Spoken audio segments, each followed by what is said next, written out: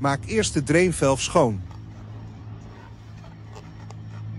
Neem dan voorzichtig een brandstofmonster.